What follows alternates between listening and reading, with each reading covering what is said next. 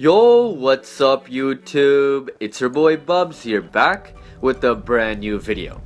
In today's video, I'm gonna be showing you guys a new God mode glitch in Blackout to win every single game you guys play.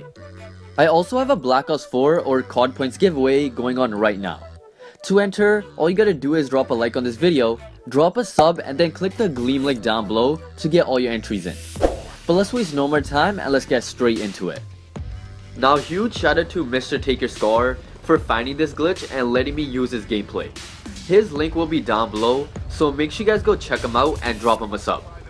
So for this solo god mode glitch, you will need a helicopter and that's it.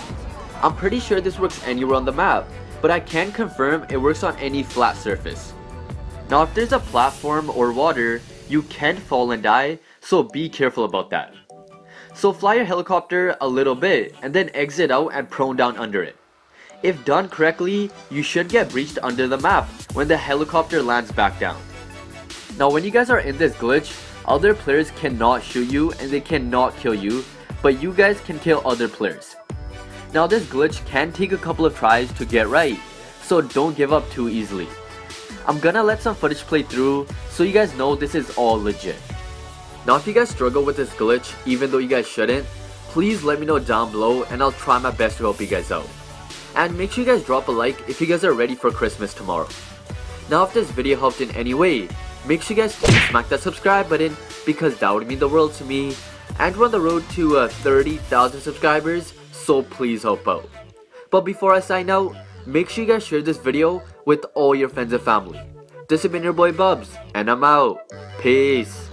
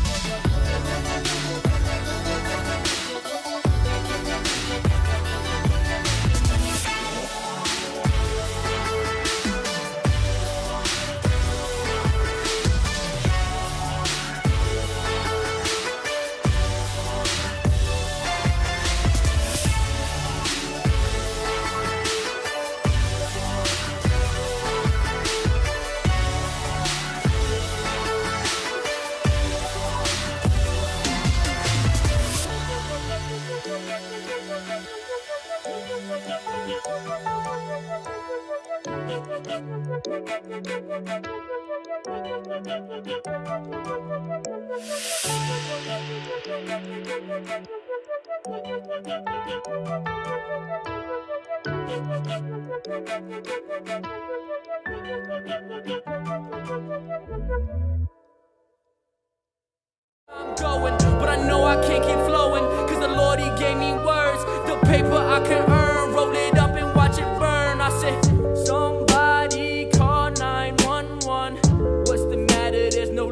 from my son. I feel dumb, he's so numb. He's home alone,